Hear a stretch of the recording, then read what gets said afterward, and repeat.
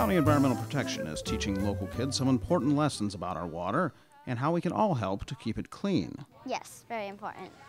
We've been learning about how um, wetlands help stop pollution from getting into the aquifer and about the plants and animals that live there.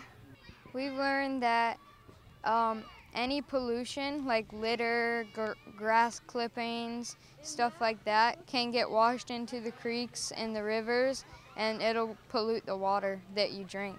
It's an important message County EPD is trying to impart at an important time in the student's education. Each year we select one school and we give presentations to all of the fourth and or fifth graders um, learning about stormwater pollution, how to reduce their stormwater pollution, and about rain gardens, how they can filter out pollution and help water infiltrate into the ground.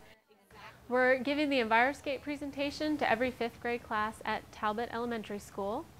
And it's a model of a watershed, so it teaches the students what a watershed is and how to prevent stormwater pollution. It's a 3D model, and so it's interactive.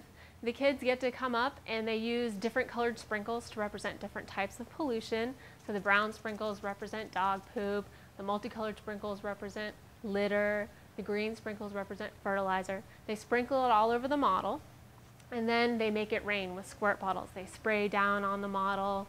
The rain comes, it washes all of the pollution over the model and into the lake. And they can see how it builds up in the lake. There's a little drain in the lake that represents a sinkhole and it drains down into a Tupperware container underneath, which represents the aquifer educational, but for kids, it's also good fun. They love it. They may get a little wet. The, the sprinkles don't stain, but it's great because it's interactive.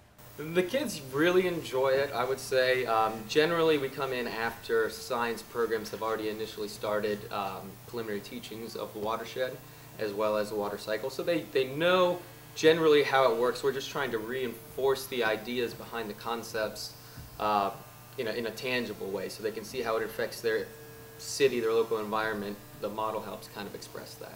And it seems the lesson is sinking in.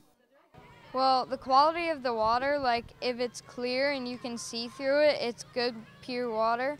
But if you can't see through it and it's cloudy, it has minerals in it. One way students are learning to help keep our water clean is by planting a rain garden. A rain garden is just basically a mini wetland it is a garden planted in a low area that receives stormwater runoff. Um, it's usually close to a downspout of a house, so that water comes directly into the rain garden. And um, it helps to recharge the aquifer by capturing that rain and letting it seep directly into the ground. And it can filter stormwater pollution, heavy metals, extra nitrogen. The plants can take that up and um, help clean that water before it enters the ground. Of course, there are also other reasons to plant a rain garden. I planted the swamp sunflower because it was tall and the leaves looked really cool and the flowers would stand out because they're yellow.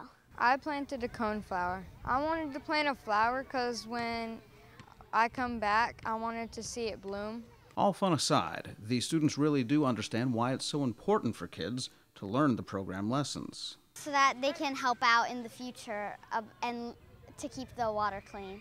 But kids aren't the only audience County Environmental Protection would like to reach. We also have adult programs where we will come out, we'll give a talk at a homeowners association, a church group, any civic group, wherever there's an audience that wants to learn more about water, we would love to come out and talk to them about water conservation, springs, our creeks, wetlands, um, you name it, we can talk about it if it's related to the water in the environment.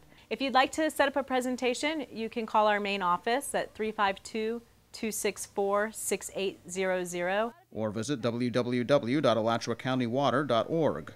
For Take 5, I'm Alan Yetter.